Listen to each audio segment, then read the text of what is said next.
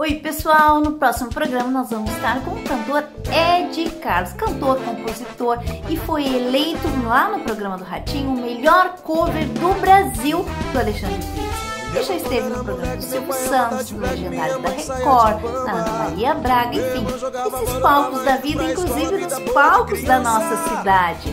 Também é responsável pela trilha musical, da abertura, da vinheta do nosso programa.